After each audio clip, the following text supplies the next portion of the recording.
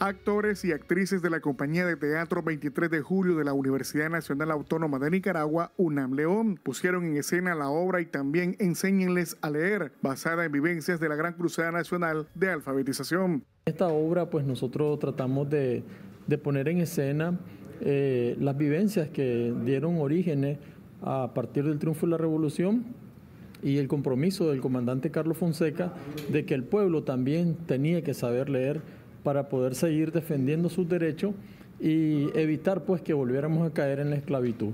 Eh, dentro de esta obra eh, resaltan personajes como Georgino Andrade, que es el primer mártir de la alfabetización y también uno de los primeros mártires del movimiento estudiantil eh, nicaragüense, el CUUM. Las universidades trabajan de manera constante para que los estudiantes tengan conocimiento sobre la cultura nicaragüense a través del teatro popular.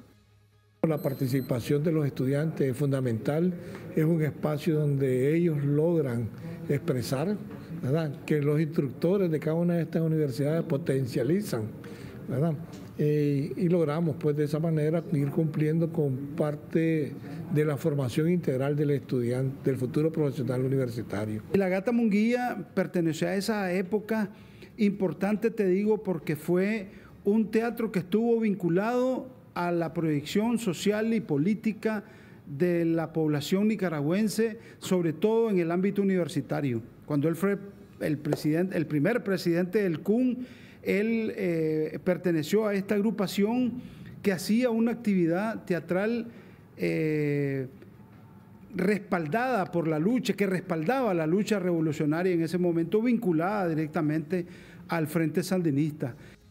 Este festival universitario es dedicado a Edgar Lagata Monguía, un joven guerrillero leonés que nació en 1947 y cayó en combate con 29 años en 1976.